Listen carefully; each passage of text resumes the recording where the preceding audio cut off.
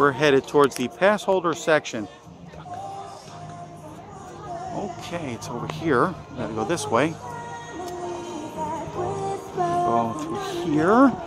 And up ahead in that building where the old free beer sampling was, that is the new pass holder section towards the right hand side of that building in the back where you can get free Coca-Cola freestyle drinks, little place to cool and relax.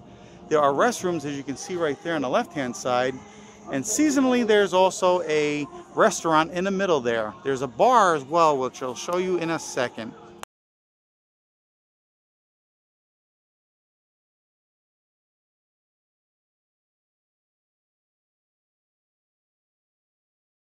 Okay, entering through here, restrooms will be on your left. And the seasonal shop is now closed. We're here in March, so they're not open.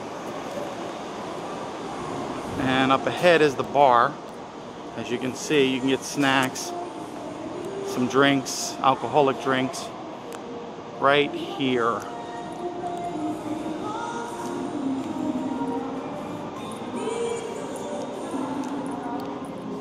And these are the drinks they offer. And some of the snacks. Another section of the bar with more snacks. Oh, they have jelly beans now, awesome. For those with allergies. And of course, gluten-free cookies.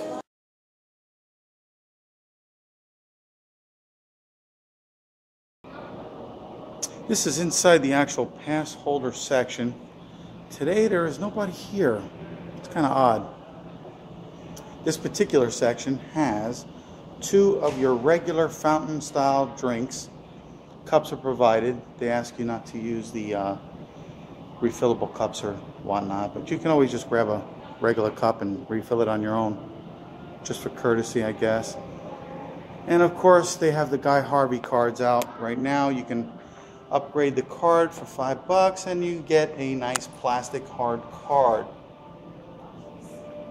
Okay, while you're in the pass holder section, you can actually order some sandwiches. They have the Mile High corned beef sandwich for $10.99, the herb roasted turkey sandwich for $10.79, smokehouse brisket mac and cheese for $8.99, a classic chef salad for $8.49, some snacks, which is like chili pie, or some chips with salsa or hummus, or some mini cinnamon donuts for $4.99 a piece.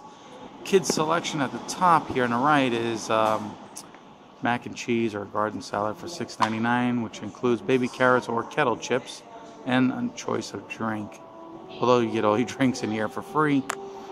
Uh, you got also bottled beer that you can order, some wine, other beverages if you so inclined to do so. This is the patio section outside the pass holder area.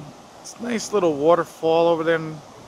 There's another one right there. And the water is very crystal clear as you can tell.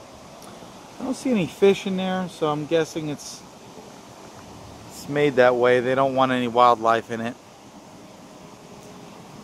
Lots of seating area out here. Lots and lots of seating area.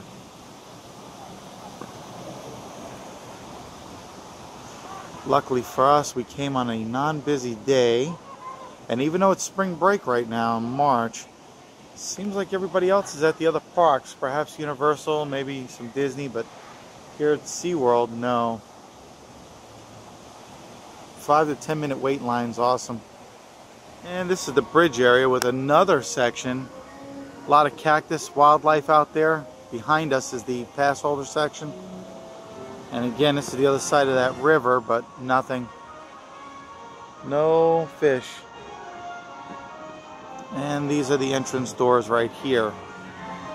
Go through there and you get to the bar and then to the right is the pass holder section.